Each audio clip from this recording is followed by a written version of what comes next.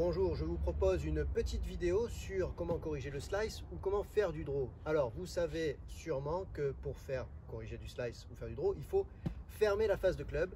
Et ce que j'aimerais faire avec vous, c'est un petit raisonnement sur cette phase de club. Alors, qu'est-ce qu'on voit chez les joueurs qui essaient de fermer le club? On a ceux qui essaient de fermer en tournant la phase de club comme ça, avec cette magnifique vue, ici.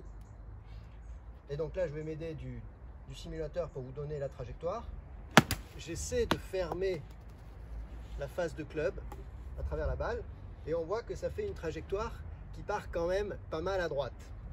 J'essaie de fermer, ça part assez bas à gauche et on voit que ça marche pas, je vous le refais pour le plaisir.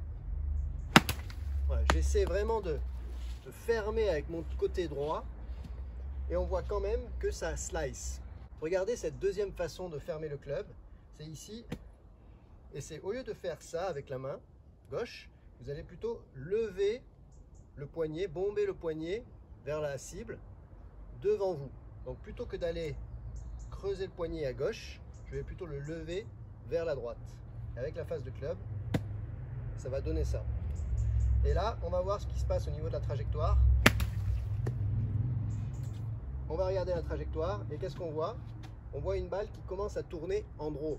Alors elle part à droite sûrement parce que j'ai envie d'éviter le téléphone déjà. Alors je vous le refais, plutôt que de fermer comme ça, eh bien on va fermer comme ça, avec cette poignée gauche qui se bombe vers la cible. Vers la cible. Donc on a ce chemin, on est obligé de plutôt aller à droite et on est obligé d'avoir ce poignet gauche qui se bombe un peu et ça, ça donne une belle trajectoire en draw.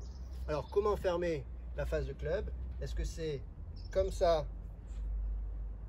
ou comme ça, je crois que la question est vite répondue.